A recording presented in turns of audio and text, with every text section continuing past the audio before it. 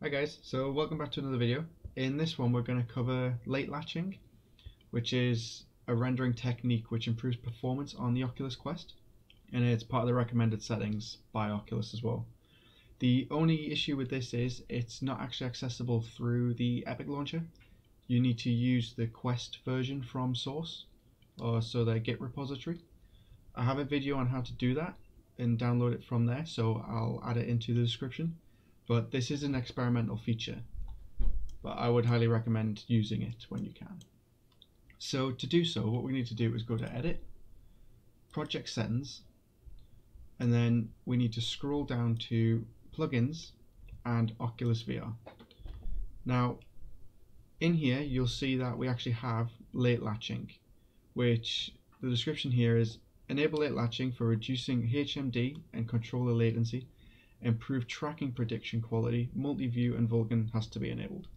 So you can see already that it's telling us that we're going to improve the controller latency, we're going to reduce HMD, uh, we're going to reduce HMD and controller latency, which means they're going to be faster to track, which means you can move around a little bit more and you don't have to worry about too much motion. Um, it's also going to require multi-view and Vulkan to be enabled. So what I'm going to do is I'm going to enable this one. If you followed along from my last videos where we set up Unreal for Quest development, I'll find it. Yep. Here's one I prepared earlier. So we've got optimizing UE4 and then how we can actually publish it to the Quest, which is super useful. I'll link this in the description. But um, in there, chances are we've already enabled the features that we need. But what we're going to do is we're going to go to rendering and um, we just need to look for multi-view. Uh, yep, there it is. So in rendering, you're going to scroll down to find VR, and then all you need to do is enable multi-view. This should run pretty well. And then what we need to do is actually go down to Android, and we need to make sure that we have Vulkan enabled. in the wrong place. Ah, I was already scrolled too far down. Okay, you gotta we'll scroll the top.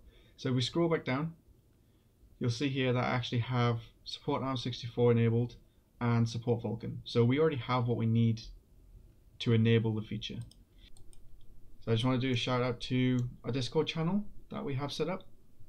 So we recently set up a Discord channel just for the community and anyone in these like watching these videos who wants to join in or ask questions and get help with stuff. We've already got quite a few people in there and all everyone's chatting about. Yeah, hopefully that helped.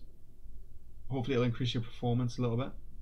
But um, if you haven't already, I highly recommend subscribing and possibly liking this video just so it helps other people find it. I'd love to see what you've been working on or what it is you're trying to do with the quest. So yeah, maybe drop over to the Discord and let us know. I'll put a link in the description for it. Excellent.